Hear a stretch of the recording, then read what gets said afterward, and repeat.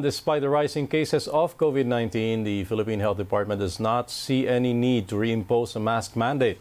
But Health Secretary Ted Herbosa says the public, especially vulnerable populations, should exercise minimum health standards. Herbosa made this recommendation after health reform advocate Tony Leachon urged the Philippine government to reimpose a mask mandate for at least two more weeks to curb the rise in COVID cases. Infectious diseases expert Dr. Ronchin Solante agrees as he notes the new variants of the virus are more transmissible. Sa mga bagong variants of interest, napakataas ang hawaan nito. No? They're so highly transmissible. Uh, pag wala kang face mask, madali ka talagang ma madapuan. This is so unique with the COVID virus because in the past pandemic, no, yung mga kapatid ng COVID virus, yung SARS-CoV-1, even yung uh, MERS-CoV na mga viruses kasama rin uh, mga linya, kasama ta, ma, magkapareho lang to no? Uh, usually one or two years nawawala talaga yan sila no? Uh, eventually they will disappear. But this virus covid uh, it seemed that the longer it took na sa from the start of the 2020 nag-evolve siya no? So there there is further mutation. So ang ang tanungan ito we need to know well, where's the source of this uh, infection? Kasi as long as there's the source uh, there is transmission, then there's also the possibility that it will still further mutate. The Philippine Statistics Authority reports a decline in the poverty rate in the first half of 2023, but a think tank doubts the data actually reflects the real situation for many Filipinos. Lady Vicencio reports. Two in 10 Filipinos were poor in the first six months of 2023. The Philippine Statistics Authority reported that the poverty incidence was at 22.4%. This translates to 25.24 million Filipinos with not enough means for their basic needs. For a family of five, the PSA says a minimum monthly income of 13,797 pesos was needed to meet basic needs. PSA adds the decrease in poverty incidence was due to higher mean per capita income, recorded at 12.8%. Higher increases were recorded for the first and second income decile at 21.4 and 19.4% respectively. Ibig sabihin, mas malaki ang itinaas ng kita ng mga pamilyang malapit sa poverty threshold kumpara sa pagtaas ng presyo ng basic food and non-food needs. Kaya naman ang bahagdan ng mga mahihirap ay bumaba ng 1.6 percentage points. National Economic and Development Authority Secretary Arsenio Balisacan admits the lower poverty incidence in the first half of the year came as a surprise development as inflation spiked to 8.7% in January.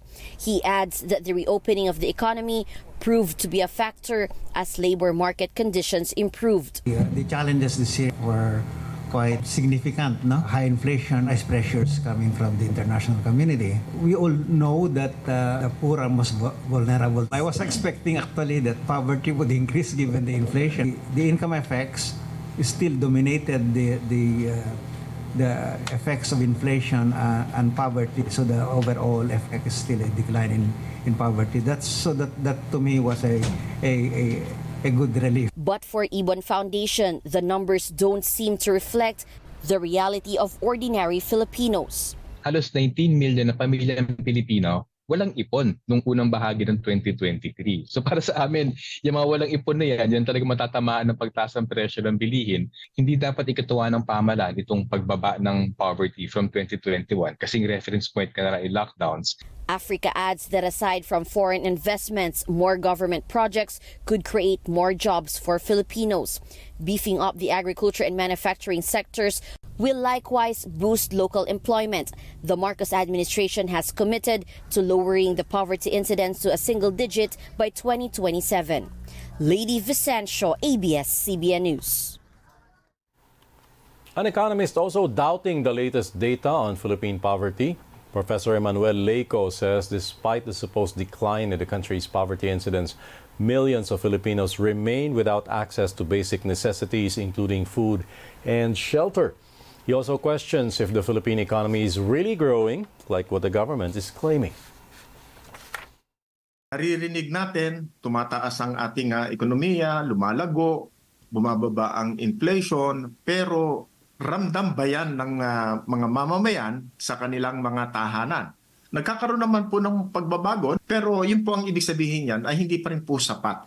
Kung kaya't uh, sa milyon-milyong mga kapatid natin na patuloy na dumaranas ng kahirapan, hindi pa po tapos ang ating uh, trabaho, ang ating tungkulin at uh, patuloy po natin na pagbibigyan uh, ng uh, panahon uh, dapat ng ating uh, pamahalaan lalong-lalo na kapapasalamang po ng uh, limang mahigit na limang trilyones na uh, budget, yaan po ba ay para po sa kapakanan ng mga mahihirap?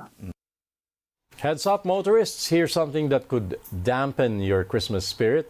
The attacks at the crucial Red Sea shipping route pushed oil prices higher. Estimates now show a liter of gasoline could increase by up to 1 peso and 60 centavos, while diesel may see an increase of up to 1 peso and 70 centavos. As for kerosene, prices could go up by at least 1 peso and 40 centavos. Airport officials note fewer travelers at the Ninoy Aquino International Airport two days before Christmas. Our correspondent Izzy Lee joins us with the latest. Izzy, go ahead. Stanley, this morning at the Ninoy Aquino International Airport, there is a notable absence of crowds, particularly in the departure area check-in counters are not as congested as they were yesterday when the airport saw a significant influx of people. However, a few travelers are still making their way to the airport to celebrate Christmas in the provinces. According to passengers I spoke with, they didn't encounter any traffic en route to NAIA and there have been no reported flight delays. In contrast, the arrival area is bustling with many passengers this morning, causing traffic flow towards the NAIA's arrival section. The Department of Transportation anticipates a passenger volume of 140,000 to 145,000 until today before Christmas Eve. As of now, Sandy, the situation appears relatively calm at NAIA, with travelers expressing a smooth travel experience. Sandy? All right, thank you so much for the update. Izzy Lee. The Philippine government's budget planners see the peso weakening against the US dollar next year until 2028. The Development Budget Coordination Committee expects it to average between 55 to 58 against the US dollar. Its previous projection was 53 to 57 pesos. The committee attributes its forecast to an anticipated rise in imports that will create a higher demand for the greenback. Philippine Senator Sherwin Gatchalian urges President Ferdinand Marcos to initiate back-channel talks with China amid rising tensions over the West Philippine Sea. The senator suggests Marcos should tap someone whom he trusts and who will, will be respected by China to engage in talks. Gatchalian adds three issues should be high on the agenda. These are China's actions during Manila's resupply missions, the harassment of Filipino fishermen, and the swarming of Chinese militia vessels in the West Philippine Sea. Aside from talking um, uh, and and and issuing statements. I think it's also very important to do back channeling. Back channeling is another diplomatic uh, mechanism wherein there is frank and there is uh, ways forward that can be resolved without a lot of uh, external comments. It's important also to intensify as well as um, resume the back channeling talks so that they can come up with really concrete solutions on how to uh, move forward with the issue in the West Philippine Sea without external um, influence or external pressure. President Ferdinand Marcos signs an executive order creating a special panel to address discrimination and other issues against members of the LGBTQ plus community. Let's get more details from our correspondent Katrina Domingo. Hi, Kat. What can you tell us? Hi, Stanley. That's right. President Ferdinand Marcos Jr. has signed an executive order that creates this special panel to address the discrimination and other issues faced by lesbians, gays, bisexuals, transgenders, queers, intersex, and asexuals in the Philippines. Under the executive order number 51, Marcos Jr. explained that the special committee is needed to ensure the country's continuous compliance with its obligations under the International Covenant on Civil and Political Rights. According to the EO, the creation of the Special Committee on LGBTQIA plus affairs under an interagency committee setup aims to strengthen existing mechanisms to address the continued discrimination being experienced by members of the said community. The panel would also provide them an avenue to participate in policy formulation of the government despite the absence of an established body specifically dedicated to promote their rights and address their concerns. The committee will be headed by the Department of Social Welfare Secretary, with the Secretaries of Migrant Workers and Labor serving as co-chairpersons. Now, other members of the special panel include the Departments of Interior and Local Government, Education, Justice, Health, and the Commission on Higher Education. The EO mandates the special committee to submit to the President within six months a diversity and inclusion program, which shall serve as the blueprint of the national government in implementing programs, activities, and projects against discrimination of persons.